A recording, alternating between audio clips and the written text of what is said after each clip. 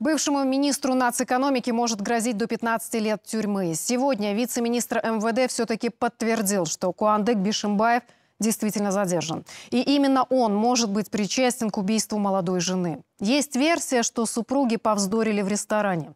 Но официальные органы в заявлениях пока крайне осторожны. В столичной полиции лишь рассказали, что 31-летняя Салтанат Нукенова скончалась от серьезных травм до приезда скорой помощи.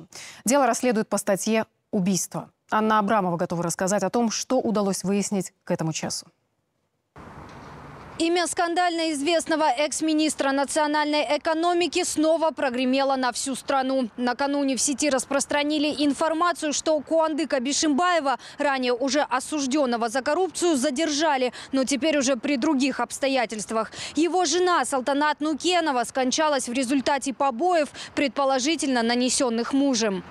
Смерть женщины врачи неотложки констатировали в вип-зале этого ресторана. Он частично принадлежит семье экс-чиновника. По одной из версий, девушка скончалась задолго до того, как на место преступления успела приехать бригада скорой помощи.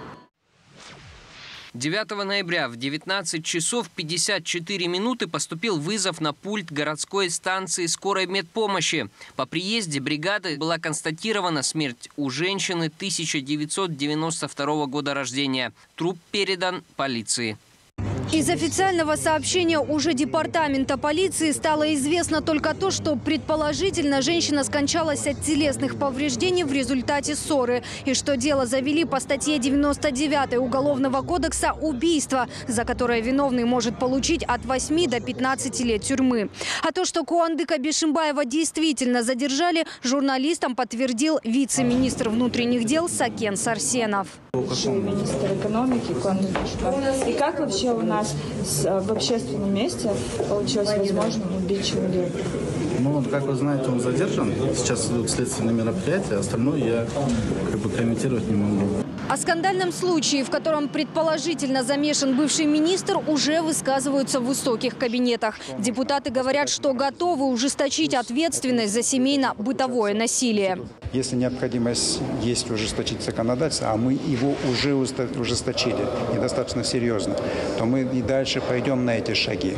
Тем временем общественность уже вынесла свой вердикт и Бишимбаеву, и персоналу ресторана, где все произошло. Место происшествия окрестили локацией смерти, а сотрудников обвинили в бездействии. Один из них, представившийся работником заведения, написал, что во время убийства никого из его коллег на месте не было. Я сотрудник данного заведения и прошу вас не осуждать персонал ресторана. Нас не было. Мы закончили смену и отправились домой. В ресторане охраны нет. Ресторан закрыли, и руководство решило посидеть после закрытия. И персонал тут не виноват. Кого считают виноватым в смерти Салтанат ее родственники, пока неизвестно. Близкие девушки живут в ее родном городе на Иртыше и сейчас заняты церемонией прощания, сообщил ее дядя, экс-аким Павлодара. Хороший, хороший человек была.